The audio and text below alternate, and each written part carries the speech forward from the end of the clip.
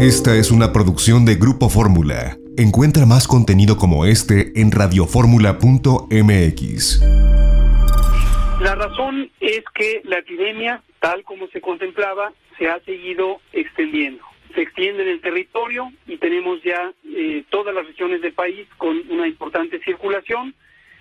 Se progresa en el tiempo, es decir, el número de casos diarios va aumentando de acuerdo a la progresión geométrica que característicamente tienen las enfermedades infecciosas y además tenemos brotes activos en diversas partes del país, prácticamente en todas las entidades federativas, y eso nos da la oportunidad de, todavía en las regiones de menor transmisión, poder trabajar sobre la contención comunitaria. Pero en resumen, se cumplen las características de fase 3 que habíamos identificado desde la fase de preparación en enero y consideramos que el mensaje sustancial es habiendo transmisión comunitaria sostenida, miles de casos sospechosos y confirmados y brotes activos, debemos declarar la fase 3 para enfatizar que las medidas de seguridad sanitaria que se resumen con el quédate en casa son hoy más importantes que nunca. Doctor Gatel, eh, López Gatel, el peligro es por la velocidad del contagio eh, y el sistema de salud, en este caso, eh, está preparado, está capacitado o puede ser quedar rebasado en esta tercera etapa.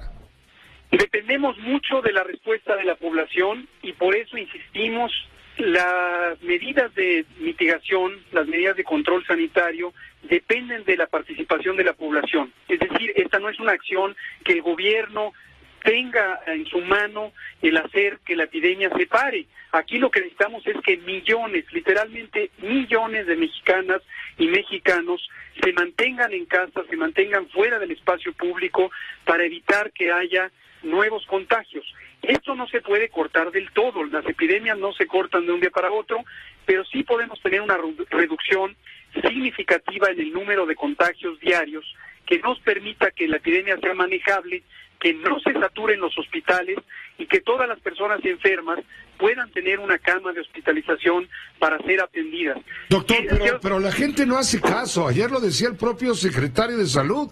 Le decía, se está relajando eh, eh, un poco el, eh, el, temor, el miedo, se están relajando las medidas de seguridad y, y vemos gente en la calle, pues no digo que quitada la pena, pero lo que sigue para abajo, ¿no? Tiene usted mucha razón y agradezco la oportunidad de poderme dirigir a su audiencia con este mensaje. A todas y todos nos puede dar COVID.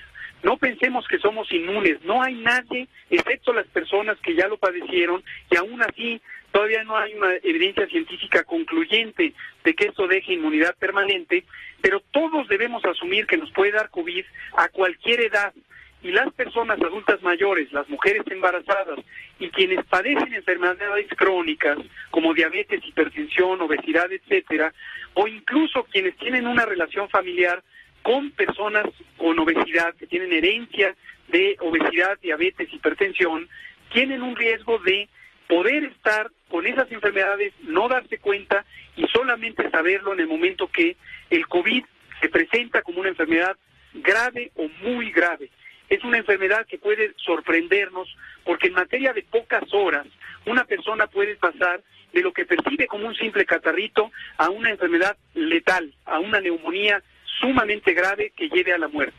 No hemos eh, querido alarmar a la población, pero sí queremos insistir en lo que hemos dicho con toda claridad. Esto no es un elemento menor.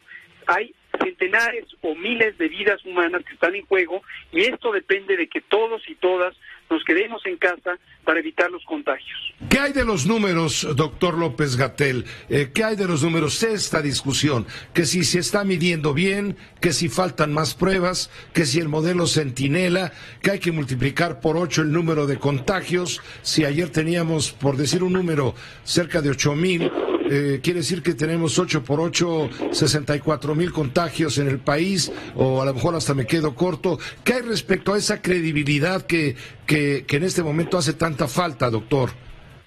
Es interesante porque, eh, como hemos sido absolutamente transparentes en presentar incluso detalles técnicos sobre la metodología que México tiene desde hace muchos años, eh, siguiendo las recomendaciones de la Organización Mundial de la Salud, para estimar la carga de enfermedad de estos fenómenos que son inconmensurables, es decir, que no son directamente medibles, a diferencia de la mayoría de los países que también tienen los mismos retos metodológicos, pero no utilizan los métodos apropiados para estimar algo que no es directamente estimable.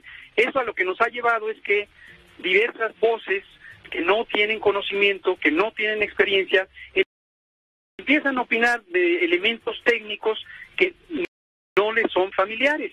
Entonces empiezan a generar una especulación sobre algo que no saben de lo que están opinando. Los datos están a la vista.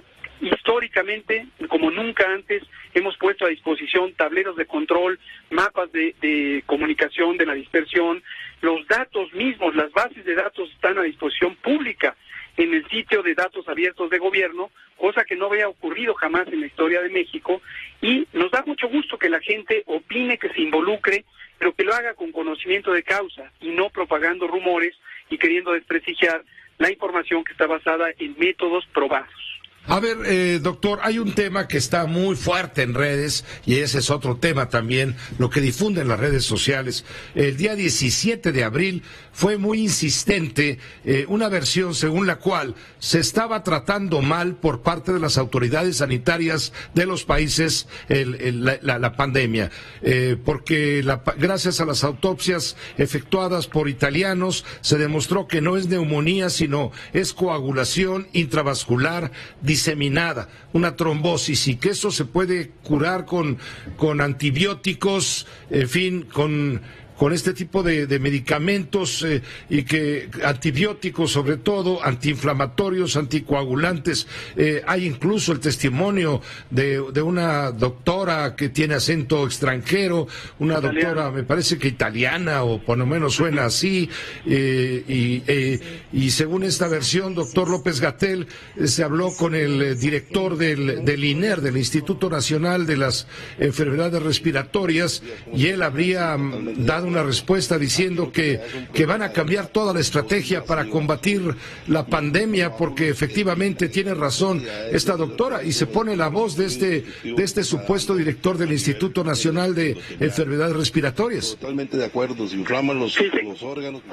Eso es muy interesante lo que me comenta porque justo revela el fenómeno del que estábamos hablando hace un minuto. Sí. Cuando personas que no tienen conocimiento empiezan a interpretar de una manera equívoca información parcial sin un sustento de evidencia científica claro. Esto que me relata tiene parte de verdad.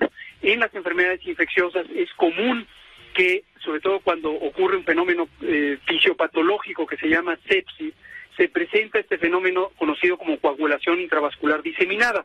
Para decirlo en términos llanos, esto quiere decir que la sangre se coagula en la circulación microscópica en los capilares de distintos eh, órganos vitales, eh, incluyen los pulmones, el hígado, los riñones, etcétera.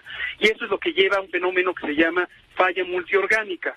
No es un fenómeno peculiar de COVID, no es el principal eh, problema que causa la muerte en COVID, aunque sí se estudia como una hipótesis científica cuál es el balance entre el daño inflamatorio del tejido pulmonar y el fenómeno de coagulación intravascular diseminada como un mecanismo que podría reducir la eficiencia de funcionamiento de los pulmones en su función principal, que es el intercambio de oxígeno por dióxido de carbono. Respecto al director de INER, mi apreciado amigo, el doctor Jorge Salas, justamente yo también recibí información por redes sociales de lo que relata la voz de la italiana, un documento aparentemente técnico que hablaba de este síndrome de coagulación asociada a COVID.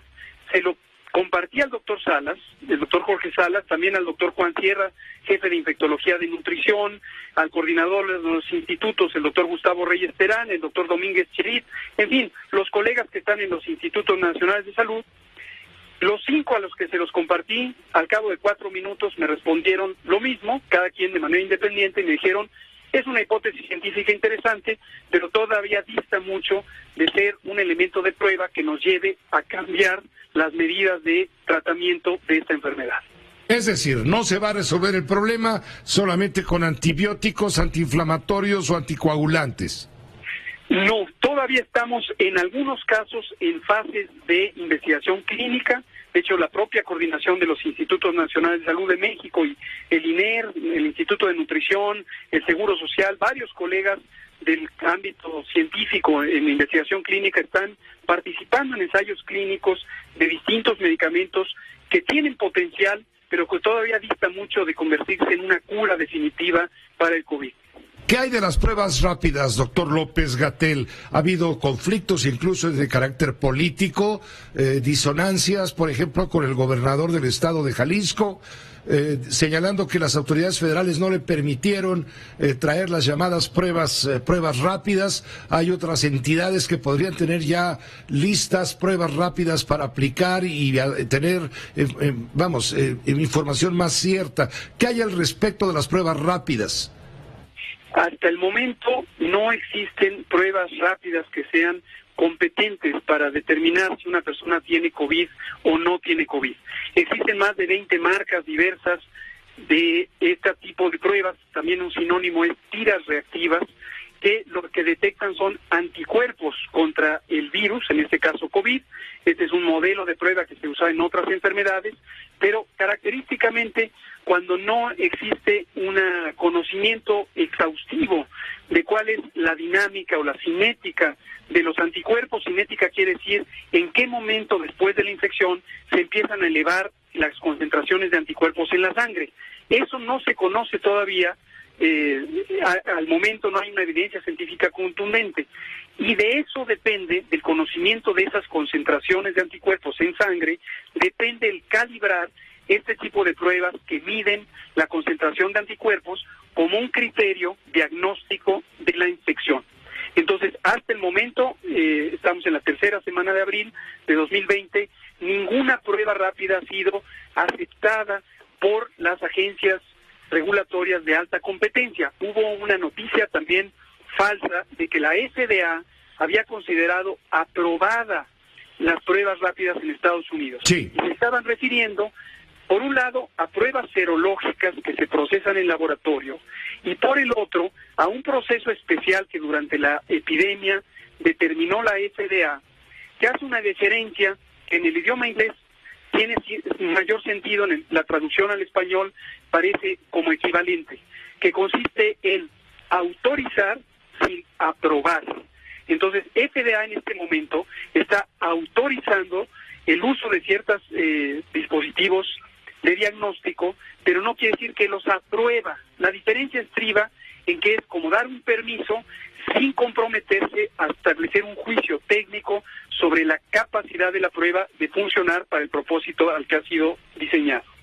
Pues muchas gracias, eh, gracias doctor López Gatel por, por su tiempo, por esta explicación. Hay verdaderamente interés, como usted puede imaginarse, en torno a esta maldición en que se ha convertido para muchos esta, esta pandemia en la parte epidémica que le corresponde a México, sobre todo mm, también por la parte de la salud, desde luego, pero sobre todo por la parte económica. ¿Cuándo empezaremos a ver la luz al final de este túnel? Porque creo que es algo importante que nos puede dejar un poco más tranquilos. Hay quien habla de mediados de mayo, hay quien habla a finales de mayo, hay quien habla hasta junio. Doctor, ¿a quién creerle? De acuerdo a las predicciones matemáticas que se han hecho, que hemos ha coordinado el CONACIT, el Consejo Nacional de Ciencia y Tecnología, con más de siete grupos académicos de alta competencia científica, hicimos una estimación, una proyección que nos llevó a identificar que entre el 8 y el 10 de mayo probablemente tendríamos el acme, el pico, el momento máximo de transmisión de la epidemia y posteriormente una reducción eh, progresiva de casos. Ahora, hemos especificado que esto es sí y solo si se mantienen las medidas de control sanitario en tiempo, forma y oportunidad. ¿Qué quiere decir esto? Que si las personas empiezan a relajar las medidas, la epidemia se va a descontrolar y vamos a tener otra vez una progresión aún más rápida de los contagios cuando estamos precisamente en esta fase de ascenso rumbo a eh, el 8 o 10 de mayo. No sería finalmente, y con esto le pido, eh, le agradezco la entrevista, no sería descabellado hablar de que en México podemos llegar al final de esta historia con arriba de 2.200 personas muertas, eh, arriba de 25.000 mil eh, personas infectadas. Tenemos varias estimaciones, eh, en su momento las hicimos públicas, el doctor López Ridaura, cuando explicó la reconversión hospitalaria, dio algunos números en algunas de las estimaciones iniciales que asumían que no estábamos teniendo un efecto positivo de las medidas de mitigación, porque estas todavía no estaban implantadas, se consideró que podríamos tener hasta 10.500 personas en terapia intensiva y se conoce que para el conjunto de personas con enfermedad muy grave, que quede muy claro, es solamente para el conjunto de personas con enfermedad muy grave, la letalidad llega a ser hasta del 60 o 70%. Es decir, podríamos hablar de 6.000 personas muertas fácilmente. Es correcto. Pues doctor, eh, eh, esta fue una producción de Grupo Fórmula. Encuentra más contenido como este en radioformula.mx.